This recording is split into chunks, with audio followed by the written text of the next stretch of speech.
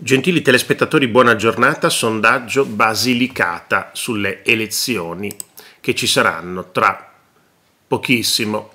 Vediamo che Vito Bardi, rieletto governatore della Basilicata con il 54% dei voti, sarebbe questo il risultato delle regionali se gli aventi diritto si fossero recati oggi al seggio per esprimere la preferenza. Lo dice il sondaggio Dire Tecne.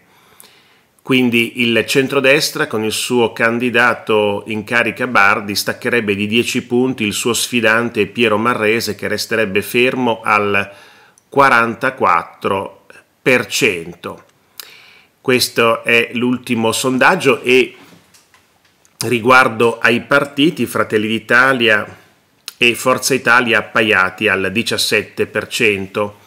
La Lega non andrebbe oltre il 5%, Calenda al 6%, PD al 15%, Movimento 5 Stelle 11%, lista base Basilicata Casa Comune 9%, Alleanza Verdi Sinistra Partito Socialista 6%.